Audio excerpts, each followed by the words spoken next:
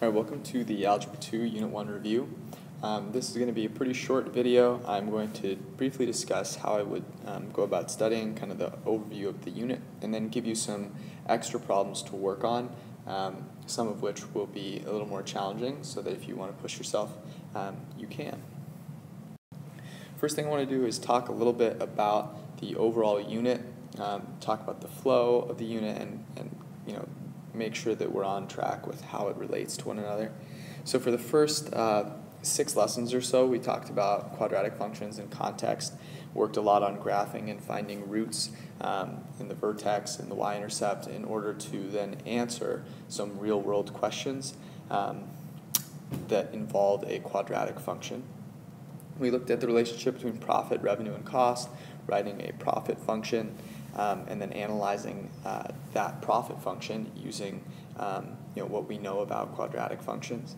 And then also fitting a function um, to some data. So if we had some data, we were able to look at it and decide whether we wanted to use a linear or quadratic model, and then used a calculator to um, fit a function to that data and use that function to um, answer some more questions about the situation, maybe predict some future values.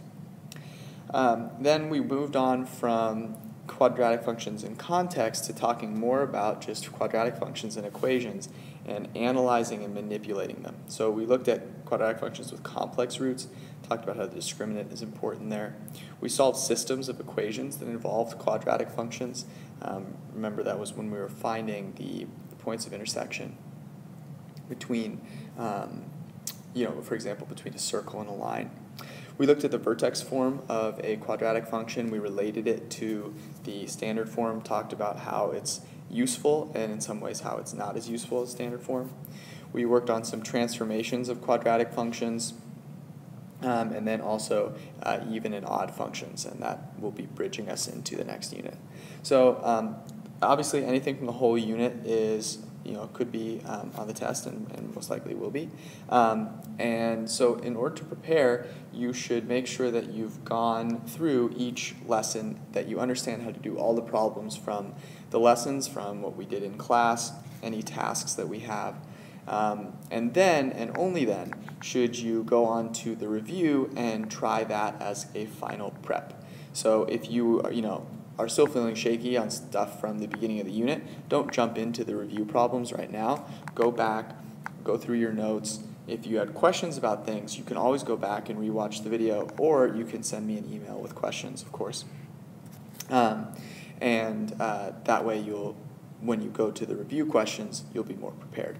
Um, I like to do is, if I were studying for this test, I would do just that. I would go through each uh, lesson from the unit. I would redo um, problems maybe that I've starred or that look you know complicated or in just all problems if I'm really struggling with something.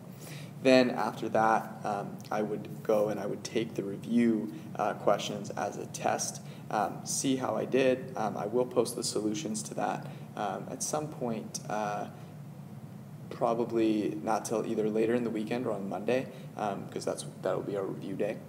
Um, and so you can take a look at those and, and compare and see how you did. As far as helpful tips for when you're actually working through problems, I can't say this enough. Practice understanding the problem. What are you trying to find? What is it that you know? Um, create a plan for yourself. Then follow your plan. If you're not doing that, you won't do it on the test, and you'll waste a bunch of time and probably won't get um, as many points as you'd like.